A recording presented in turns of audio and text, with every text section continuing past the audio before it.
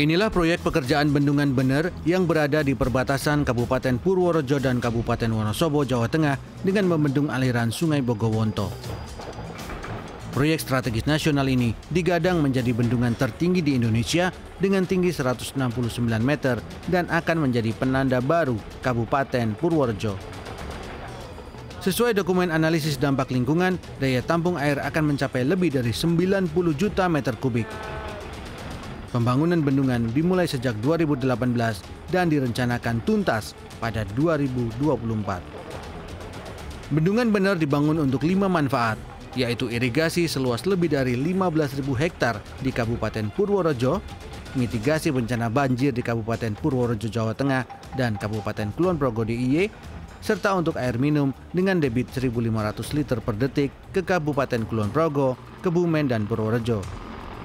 Selain itu, bendungan juga akan digunakan untuk kebutuhan PLTA dengan kapasitas 10 MW dan menjadi ikon wisata baru. Tak ada satupun yang tidak setuju dengan manfaat bendungan bener ini. Namun masalah muncul ketika bangunan utama bendungan membutuhkan batu andesit yang akan ditambang di desa Wadas. Pasalnya, warga Wadas yang mayoritas petani akan kehilangan tanah karena ditambang batu andesitnya sejumlah 8,5 juta meter kubik. Konstruksi bendungan bener ini eh, kami hanya membayar biaya untuk eh, produksi saja, misalnya untuk pekerjaan galian, kemudian batu setelah digali kita hauling, kita angkut ke arah eh, tapak bendungan, kemudian di sana dihampar, kemudian dipadatkan kembali, sehingga di sini tidak ada biaya pembelian untuk batu tersebut. Itu yang selama ini selalu beredar bahwa ini ada motif tambang, motif bisnis dan lain-lain itu tidak benar sama sekali karena kami tidak membeli batu yang akan kita ambil dari Wadas. Ya, alasan dilakukannya penambangan batu andesit di Wadas adalah untuk menghemat keuangan negara. Negara memang mengeluarkan biaya untuk membeli tanah dari rakyat Wadas, namun tanah-tanah itu tetap menjadi aset kekayaan negara. Menurut tenaga ahli utama kantor staf Presiden Johannes Joko, alasan ini sebenarnya telah sampai ke telinga Presiden Jokowi. Kalau ini diambil tanah ini diambil oleh pemerintah, maka yang melakukan penambangan itu pemerintah, Mas. Nilai dari batu itu adalah nol. Tetapi kalau diambil di tempat lain, yang tempat lain itu adalah tambang-tambang apa eh, galian-galian yang sudah dikuasai oleh swasta maupun penguasa nilainya bukan nol lagi. Berapa? Ya hitung aja per meter persegi berapa, per meter kubik itu harga kuari berapa tinggal dikalikan. Dengan asumsi harga rata-rata batu andesit Rp100.000 per meter kubik, maka biaya tambahan yang dikeluarkan pemerintah mencapai 850 miliar rupiah. Ini belum termasuk biaya lain akibat pemindahan lokasi yang bila dikalkulasi diperkirakan nilainya bisa mencapai sekitar 1 triliun rupiah. Penambahan anggaran ini bisa jadi dianggap besar oleh pemerintah.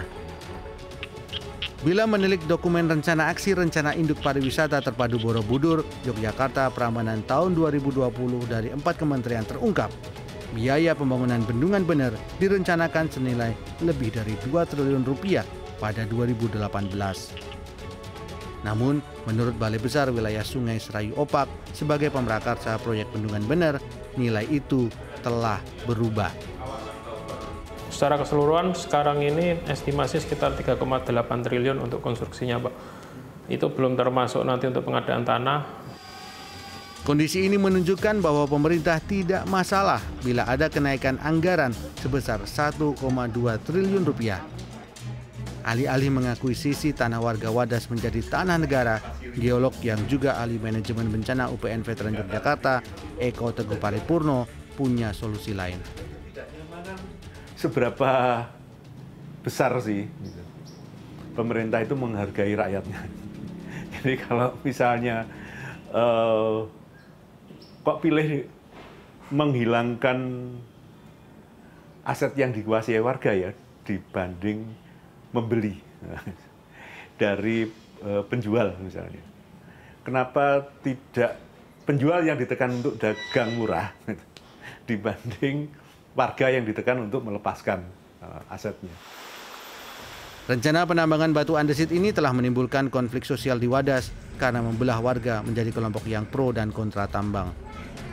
Warga yang kontra tambang pun mengalami kekerasan dan trauma dari aparat kepolisian seperti yang terjadi pada 23 April 2021.